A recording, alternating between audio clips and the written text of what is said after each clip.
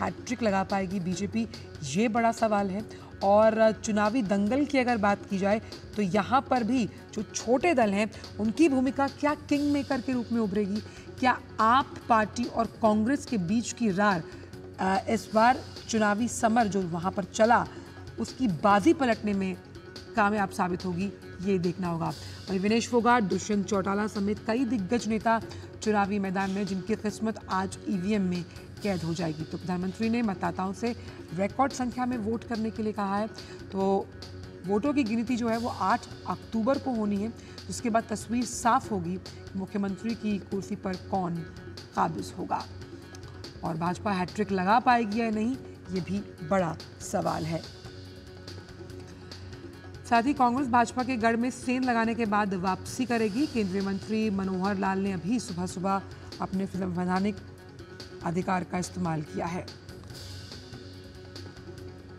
और केंद्रीय मंत्री मनोहर लाल ने सुबह करनाल के पोलिंग बूथ पर वोट डाला। तो हरियाणा का चुनावी दंगल, जहाँ पर कई ऐसे अहम जो नेता हैं जिनकी चुनावी साख इस वक्त दाव पर है और उनकी किस्मत ईवीएम में कैद होने वाली है।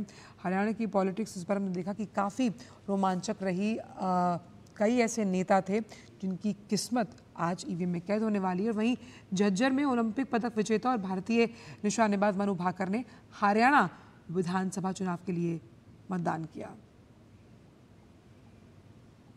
हम सबकी रिस्पॉन्सिबिलिटी बनती है being the youth of this country कि हम सब अपना वोट डालें। और जो भी आपकी समझदारी से आपको बेस्ट कैंडिडेट लगता है बेस्ट लीडर लगता है अपने देश के लिए आई थिंक हम सबको उसके लिए वोट करना चाहिए बिकॉज़ हमारे छोटे छोटे स्टेप्स ही हमें बड़ी ऊंचाइयों तक लेके जाएँगे। चुनावी दंगल पर ज़्यादा जानकारी के साथ हमारे साथ हमारे संवाददाता कुमार आलोक जो हैं, वो पानीपत से जुड़ हैं। फिर हम आगे इस बुलेटिन में और भी संवाददाताओं को जोड़ेंगे। कुमार, सुप्रभात आपको। पहले तो जिस पोलिंग स्टेशन पर आप हैं, उसका जायज़ा हमें दिखाइए कि किस तरह से वहाँ पर लोग चलिए पहले विनोद फोगाट क्या कह रही हैं और किस तरह से अपने मताधिकार मताधिकार का उन्होंने इस्तेमाल किया। आइए पहले वो देखते हैं। चलिए, विनोद फोगाट की जो दावेदारी है इस बार कांग्रेस की तरफ़ से उन्हें टिकट मिला। आइए देखते हैं कि वो क्या कह रही हैं। वोट डालने के बाद उत्सव एक वोटिंग का जो दिन होता है और आज हरियाणा पूरा हरियाणा जोश करने जा रहा है। और कार्यकर्ता होने के नाते एक पार्टी के मैं चलिए कुमार आलोक हमारे साथ जुड़े हुए हैं। कुमार सुप्रभात आपको। तो सवाल मेरा ये कि जिस पोलिंग बूथ पर आप हैं और लोकतंत्र के इस महापर्व में एक वोट बहुत कुछ बदलने का मादा रखता है किस तरह से लोग बढ़ चढ़ कर निकल रहे हैं आज अपने संवैधानिक अधिकार का इस्तेमाल करने के लिए?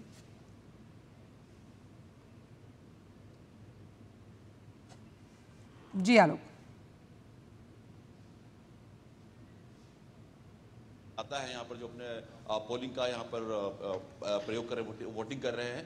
और अभी अभी जिन दिन चढ़ा सात बजे से जब पोलिंग शुरू हुई है तो अभी मतदान की गति थोड़ी धीमी है। हो सकता है कि ब्रेकफास्ट के बाद लोग आए यहाँ पर और ज़्यादा मात्रा में। लेकिन हमारे साथ दो मतदाता अभी पिता पुत्री है यहाँ पर। दीप शिखा है और दीप अ, दूसरी बार दीपश्री अ, दीपश्री हैं जो दूसरी बार वोटिंग की है। पहले लोकसभा में इन्होंने किया था और विधानसभा में। आप बताएँ कि कितना वोटिंग का महत्व वोटिंग का क्या महत्व है और कितना बढ़ चढ़ के लोग यहाँ पर खासकर युवा यंग जनरेशन कित, किस तरीके से यहाँ पर वोटिंग कर रहा है? सर वोटिंग का बहुत ज़्यादा इम्पोर्टेंस है, क्योंकि जब हमारा भारत देश आज़ाद हुआ था तो उस टाइम पर डॉक्टर बी आर अंबेडकर ने कहा था कि हमारी सिर्फ़ एक ही आवाज़, एक ही बार हमें मिलेगा अपना कुछ भी मतलब जो हमारा ओपिनियन है, वो हमें व्यक्त करने के लिए। तो हमें वोटिंग बिल्कुल भी नहीं मतलब ऐसे लेट गो नहीं करना चाहिए। हमें इस चीज़ को अपना इम्पोर्टेंस मानकर और ये डे को मतलब ऐसा नहीं है कि लोग क्या करते हैं कि बाहर घूमने चले गए या किसी और काम में बिज़ी हो गए but this is not like right and हमें अपनी वोटिंग को यूज़ करके अपने जो भी हम जो भी कैंडिडेट को वोट करना चाहते हैं और हमें देना चाहिए। आप नारी हैं महिला हैं महिला सुरक्षा को लेकर के कितना अ, मतदाताओं में खासकर नारी जगत में या महिलाओं में कितना उसका इम्पोर्टेंस है? महिलाओं में तो बहुत ज़्यादा इम्पोर्टेंस है सर क्योंकि अगर हम अपनी इंडियन सोसाइटी देखें तो इसमें पेट्रियार्की है। मेल डोमिनेशन बहुत ज़्यादा है चाहे वो हम अपने घर में देखें या सोसाइटी में।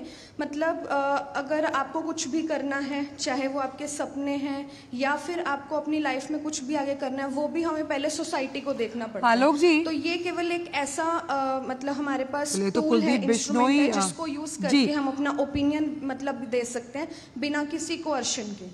कुलदीप बिश्नोई हाँ। कुलदीप बिश्नोई को भी हम अपने वोटिंग अधिकार का इस्तेमाल करते हुए यहाँ पर देख रहे हैं आ, कुमार यहाँ पर ये देखना भी बहुत अहम हो जाएगा कि तमाम जो छोटे दल हैं वो क्या किंग मेकर की भूमिका निभा पाएँगे इस बार के चुनावी समर में बिल्कुल आपने सही कहा। देखिए इंडिपेंडेंट्स का रोल बहुत ज़्यादा यहाँ पर महत्वपूर्ण हो गया है।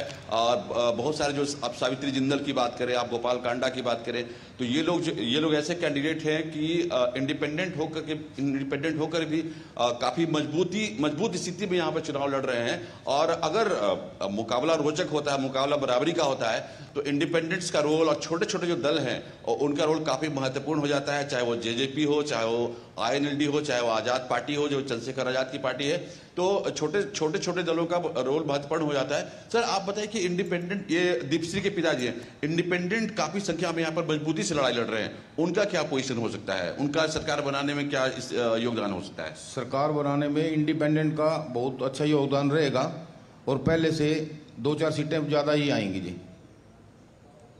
तो इनका कहना है कि ये पॉलिटिकल एनालिसिस्ट है तो इनका कहना है कि इंडिपेंडेंट की स्थिति भी अच्छी है और हो सकता है कि पिछली बार से ज़्यादा यानी दो चार सीटें ज़्यादा उनकी आए तो अभी देखिए नब्बे विधानसभा सीट पूरे हरियाणा में नब्बे विधानसभा सीट है और आपने देखा जिस तरीके से दीपश्री ने दीपश्री ने जिस तरीके से एनालिसिस किया एक यंग होकर के जिस तरीके से उन्होंने अंबेडकर को कोट किया और वोट के इंपॉर्टेंस को कोट किया वो अपने आप में महत्वपूर्ण है और हरियाणा की राजनीति में नब्बे विधानसभा सीट ज़रूर है लेकिन राष्ट्रीय पॉलिटिक्स में नेशनल पॉलिटिक्स में इसका एक अहम स्थान रहा है। आप देख सकते हैं कि उन्नीस सौ नब्बे के दौर में जब बीपी सिंह की सरकार बनी थी तो चौधरी देवीलाल जो कि बहुत हैवीवेट थे हरियाणा की राजनीति में उनका महत्वपूर्ण रोल था।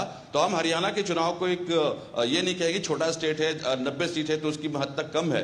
हरियाणा का हरियाणा का जो चुनाव है वो राष्ट्रीय राष्ट्रीय परिदृश्य पर भी अपना इंपॉर्टेंस रखता है। राष्ट्रीय परिदृश्य पर जो पार्टी है वो भी इम्पोर्टेंट रखती है जो कांग्रेस है। लेकिन जहाँ हम कांग्रेस और आपका गठबंधन देखते हैं कई जगह पर यहाँ पर एक दूसरे के खिलाफ होती हुई नज़र आई। क्या इसका असर आप इस बार के चुनावों में पड़ते हुए देखते हैं कुमार? आप आप आप अगर एनालिसिस कीजिएगा कि अगर गुजरात का चुनाव हुआ वहाँ पर आम आदमी पार्टी ने अकेला चुनाव लड़ा और अच्छा खासा वोट उसने कांग्रेस को डेंट किया। गोवा में जब आम आदमी पार्टी चुनाव लड़ी वहाँ पर भी कांग्रेस की संभावनाओं को उसने डेंट किया। पंजाब। अ, हिमाचल में ज़्यादा कुछ वो नहीं कर पाई लेकिन हरियाणा में अ, पंजाब की अगर बात पंजाब में तो सुपड़ा ही साफ़ कर दिया दिल्ली में सुपड़ा ही साफ़ कर दिया कांग्रेस का। तो राहुल गांधी ने काफ़ी कोशिश की थी कि बात बन जाए, लेकिन एक चीज़ मैं आपको ये बताना चाहता हूँ कि कांग्रेस ओवर कॉन्फिडेंट है। जिस तरीके से मध्य प्रदेश में कमलनाथ जी ओवर कॉन्फिडेंट थे विधानसभा चुनाव में कि हम आसानी से सत्ता में आ रहे हैं, लेकिन रिज़ल्ट आपने देखा कि क्या हुआ। उसी तरीके से यहाँ की जो प्रदेश इकाई थी, चाहे वो हुड्डा हो, चाहे वो शैलजा हो, चाहे सुरजेवाला हो, ये ओवर कॉन्फिडेंट थे कि ओवर कॉन्फिडेंट है कि हमारी पार्टी की सरकार बन रही है। उस स्थिति में आम आदमी पार्टी के साथ इनका गठबंधन नहीं हुआ। और आम आदमी पार्टी जो भी वोट अगर वोट शेयर अपनी पार्टी की ओर ले आती है तो सीधा उसका नुकसान कांग्रेस को होगा। ये पॉलिटिकल पंडित यहाँ के आप भी बने रहिएगा कुमार हमारे साथ। कितना आप- नुकसान पहुंचाएगी आम आदमी पार्टी वो आठ तारीख को पता चलेगा। बिल्कुल आप बने रहिएगा हमारे साथ क्योंकि गुरुग्राम से मुकेश शुक्ला भी हमारे साथ जुड़ गए मुकेश अगर इस बार के चुनावों को हम देखें खास तौर पर फ़र्स्ट टाइम वोटर्स और महिलाओं का आह्वान प्रधानमंत्री हर बार करते आए कि वोटिंग प्रक्रिया में इन सबको बढ़ चढ़ कर भाग लेना चाहिए। हरियाणा की राजनीति को अगर समझें तो युवा शक्ति कितना बड़ा रोल निभाती हुई नज़र आएगी इस बार के चुनावी दंगल की जब हम बात करते हैं। हरियाणा विधानसभा चुनाव 2024 हाँ, बिल्कुल आंचल जिस तरह से देखिए अभी पीछे कुछ दिनों में हमने ताबड़तोड़ रैलियाँ देखी अमित शाह जी की देखी माननीय प्रधानमंत्री ने जिस तरह से रैली करके कहीं ना कहीं अपने जो कार्यकर्ताओं उनको ऊर्जावान किया वोटर्स को प्रेरित किया कि वो घर से बाहर आए क्योंकि मैं गुड़गांव में हूँ ये पूरा का पूरा आईटी हब है तो यहाँ पर जो वोटर है वो बहुत समझदार है और बहुत जागरूक है। ऐसे में वो वोट कास्ट करने घर से निकले ये बहुत इंपॉर्टेंट हो जाता है क्योंकि यहाँ गाँव जैसा कुछ नहीं है पूरा आईटी हब है यहाँ पर का चौंद आपको देखने को मिलेगा चाहे आप रात में आए चाहे दिन में आए। तो यहाँ पर जो वोट कास्ट करने के लिए आएँगे निकल करके, उनका भी एक ही मकसद होगा, क्योंकि लोकसभा, विधानसभा, लोकसभा चुनाव के दौरान भी हमने कई बार इन इलाकों का दौरा किया था तो जाने की कोशिश करी थी तो लोग चाह रहे थे कि उनको यहाँ पर बदलाव चाहिए। वही चीज़ विधानसभा में भले ही यहाँ पर हुड्डा वर्सेस बीजेपी के बीच में मुकाबला जारी है, कई सीटों पर आप देखेंगे कि युवाओं को मौका मिला है, और साथ ही साथ कई जो नेता रहे पिछली सरकार में वो भी यहाँ पर अपना दंगल दिखाएँगे, और उनका सारा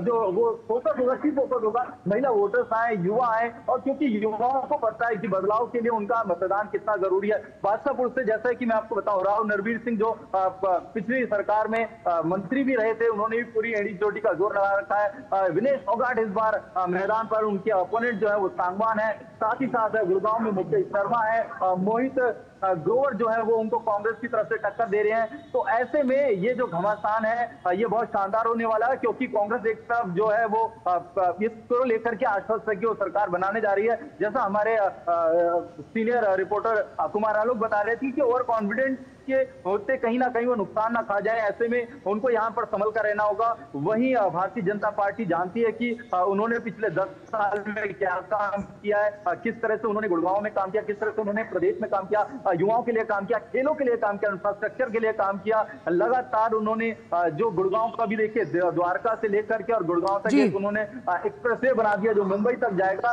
तो तमाम वो काम वो उपलब्धियाँ गिना रहे हैं। युवाओं को बताने की कोशिश कर रहे हैं कि जो सरकार बनेगी वो विकास के पैरामीटर्स पर बनेगी प्रदेश में शांति हो प्रदेश में काफ़ी सारा काम आए रोज़गार आए जो भी आपके युवा है एंटरप्रेन्योर है उनको लेकर के यानी आप बिल्कुल बिल्कुल एक मैं रुकना चाहूँगी मुकेश नायब सिंह सैनी को आप देख सकते हैं अपने वोटिंग अधिकार का इस्तेमाल करते हुए पोलिंग बूथ पर वोटिंग अधिकार का इस्तेमाल करते हुए नज़र आ रहे हैं।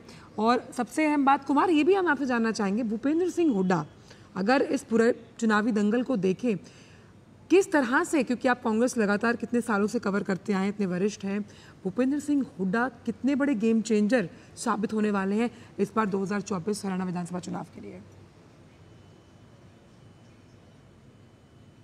आंचल, अगर कांग्रेस की हम बात करें तो कांग्रेस ने पिछले चुनाव में, विधानसभा चुनाव में हुड्डा को कमान नहीं सौंपी थी। और इसका खामियाजा उन्हें भुगतना पड़ा था कि बिल्कुल सत्ता में आते आते कांग्रेस रह गई थी। तो इस बार जो चली है कांग्रेस जो आला कमान है जो कांग्रेस के जो ऊपरी लीडर है चाहे वो खड़गे हों चाहे वो राहुल गांधी हो चाहे वो सोनिया गांधी हो चाहे वो प्रियंका गांधी हो इन्होंने इस बार पूरा का पूरा कमान भूपेंद्र सिंह हुड्डा को दिया है और कहा यह जा रहा है कि 90 सीटों में से बहत्तर सीटें भूपेंद्र सिंह हुड्डा के लोगों को मिला है। और यहाँ पर सैलजा भी साइडलाइन है और सुरजेवाला भी साइडलाइन है। अगर ऊपर से देखा जाए तो तो हुड्डा के चलिए और कांग्रेस का जो नेतृत्व है वो मान के चल रहा है कि हुड्डा को हमने पूरा कमान दिया है तो हुड्डा कांग्रेस को सत्ता में वापसी दिला सकते हैं।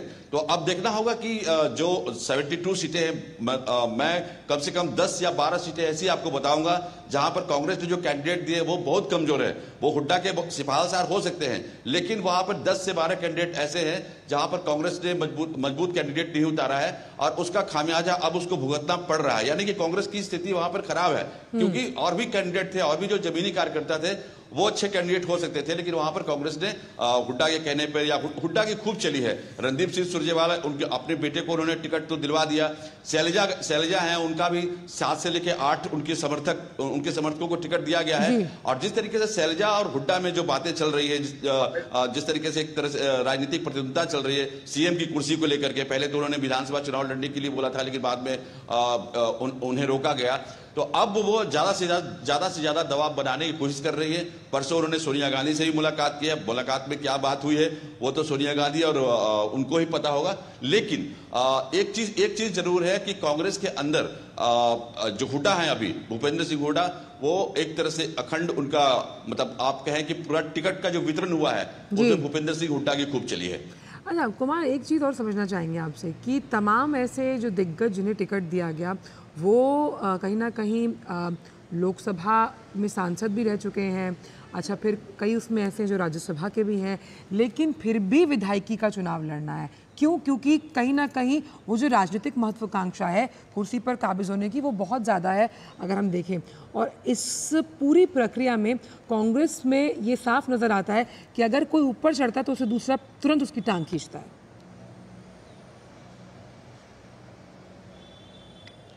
नहीं पहले विधानसभा चुनाव की घोषणा से पहले ही कांग्रेस ने यह घोषणा कर दी थी। कांग्रेस ने कह साफ़ साफ़ कह दिया था कि चाहे चाहे आप राज्यसभा के सांसद हैं चाहे आप लोकसभा के सांसद हैं विधानसभा का चुनाव आपको नहीं लड़ना है। लेकिन बाद में कुमारी शैलजा ने खुलेआम कहा कि मैं चुनाव लड़ना चाहती हूँ लेकिन उसके बाद किसी तरह दीपेंद्र हुड्डा चुनाव लड़ना चाहते थे लेकिन वो भी रोहतक से सांसद हैं कुमारी शैलजा भी सांसद हैं एक मिनट नायब सिंह सैनी ने वोट डाला है। एक सेकंड कुमार कुमार रोकना चाहूँगी आपको। नायब सिंह सैनी ने वोट डाला है। क्या कुछ कह रहे हैं वो? आइए सुनते हैं। वोट ज़रूर पोल करें। सौ परसेंट मतदान हो।